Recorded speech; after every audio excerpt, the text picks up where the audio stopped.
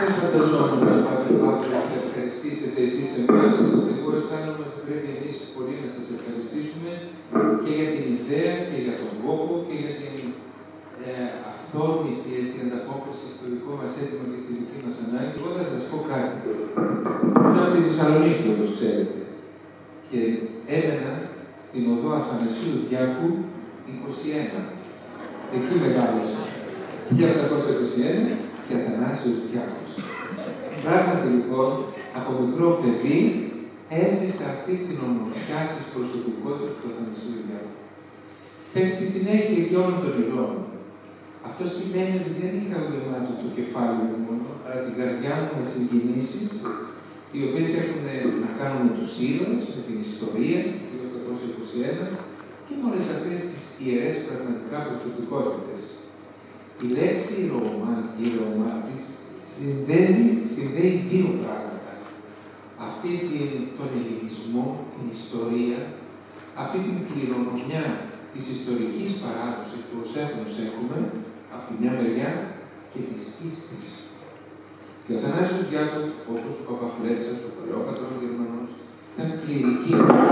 Μου έκανε εντύπωση και στο έργο που παρουσίασε το σχολείο, το οποίο το είπε, κάπως το είπε ο πατήρ, εγώ θα χρησιμοποιήσω τη λέξη εκπληκτικό. Ήταν κάτι πραγματικά εξαιρετικό, που δημιουργούσε εσωτερικές συγκινήσεις με την συμμετοχή των παιδιών και την εποπτεία των καθηγητών και την πρωτοβουλία του σχολείου.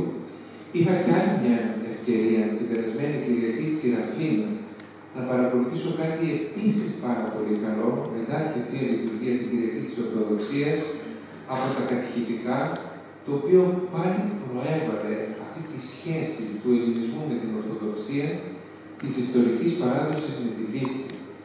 Θεωρώ λοιπόν ότι αυτά τα στοιχεία που κάπως ξεθοριάζουν στην εποχή μας, αλλά υπογραμμίζονται με νέο λόγο, νέο τρόπο και νέα μέσα, μέσα από αυτές τις ευκαιρίες σήμερα και μεταφέρονται με αυτόν τον τρόπο στην νεότερη γενιά, είναι ότι πολυτιμότερο υπάρχει.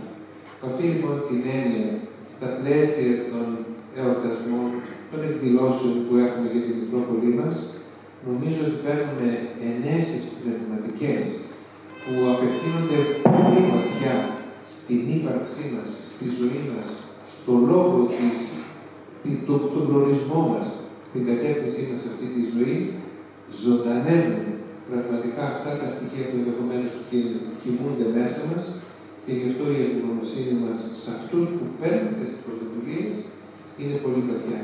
Και στο γυμνάσιο, όπω είπα πριν, την περασμένη Πέμπτη και την Παρασκευή, που το ξαναείδα και υπήρχε και τρίτη φορά θα ξαναερχόμουν. Να σας πω την αλήθεια, γέμιζε η ψυχή μου και με συγκινήσεις και με ευγνωμοσύνη.